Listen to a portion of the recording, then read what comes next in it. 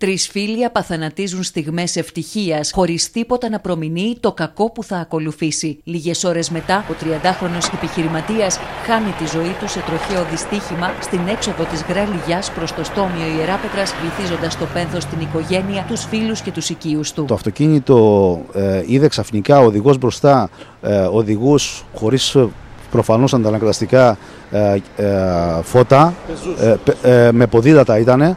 έκανε λιγμό αριστερά για να τους αποφύγει, με αποτέλεσμα να χτυπήσει σε, σε περίφραξη, σε, σε πόρτα περίφραξης μεγάλης επιχείρησης εδώ στην σιδηροκατασκευών εδώ στην περιοχή, να την κρεμίσει κάτω και έπειτα να χτυπήσει πάνω σε τυχείο μπετού και αυτό ήταν το πιο δυνατό που έκανε τη, τη σύγκρουση τόσο σφοδρή. Άμεσα κλήθηκε το ΕΚΑΒ με τους διασώστες να ανασύρουν νεκρό τον άτυχο επιχειρηματία. Ο οδηγός είχε επαφή με το περιβάλλον από την πρώτη στιγμή, ε, μιλούσε, ε, απλά έλεγε ότι πονούσε το πόδι του πάρα πολύ ε, δεξιά.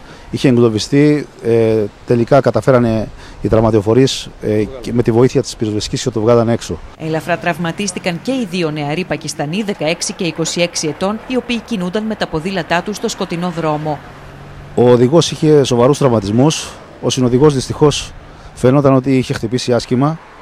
Ε, οι τραυματιοφορείς ε, κάνανε ό,τι μπορούσαν, του κάνανε μαλάξεις, τεχνητές αναπνοές ε, ε, με μηχάνημα με απεινιδωτή. Πρόκειται για ένα τμήμα της επαρχιακής οδού Ιερά Πέτρας Βιάνου από τη Γράλιγιά μέχρι το Μύρτο, το οποίο δεν έχει επαρκή φωτισμό. Ενώ η βλάστηση και τα δέντρα καλύπτουν και μέρος του οδοστρώματος, με αποτέλεσμα να μην υπάρχει χώρος για να κινηθούν πεζοί και ποδηλάτες. Να βάλουν λάμπες, να, να έχει φωτισμό, να μπορούν να σπαθέσουμε να, αυτά τα έχει από εδώ μέχρι εκεί πέρα έχει 10 γέφυρες. Οι λάμπες αυτές ανάβουν που βλέπουμε; Οι περισσότερες δεν ανάβουν. Πολλές φορές ε, με δύο ή με τρία ποδήλατα αντί να είναι στη σειρά είναι δίπλα-δίπλα.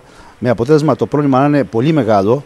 Έτσι, έχουμε κινδυνεύσει πάρα πολλές φορές. Την επικινδυνότητα του δρόμου έχουν επισημάνει οι κάτοικοι της περιοχής που ζητούν να δοθεί λύση για να μην θρυνήσουν άλλα θύματα στην άσφαλτο. Είναι ένας απαρχαιωμένος δρόμος ο οποίος δεν έχει μελέτη για τόσα οχήματα για όλη την κίνηση και όχι μόνο για τα μεγάλα οχήματα. Ο 30χρονο θα οδηγηθεί αύριο στις 11 το πρωί στην τελευταία του κατοικία. Η νεκρόσιμο ακολουθία θα τελεστεί στον ιερό ναό του Αγίου Ιωάννη Θεολόγου στη Νέα Ανατολή.